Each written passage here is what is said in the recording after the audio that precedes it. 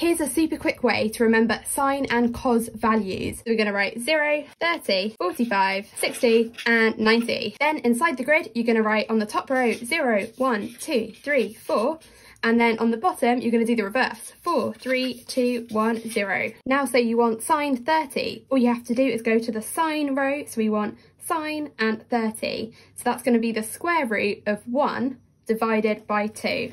And simplifying that, the square root of 1 is just 1, so it's a half. Cos 45, well, we go to the cos row, cos 45, so it's the square root of 2 over 2. Sine 60, we go to the sine row and the 60 column, Sine 60 is the square root of 3 over 2. How about cos 0? Well, then we've got the square root of 4 over 2. We can simplify that. The square root of 4 is just 2, and so that's just 1. So this is a great way to remember these values if you need them in an exam. Just remember this diagram, draw it in the corner of your exam paper, and you're good to go.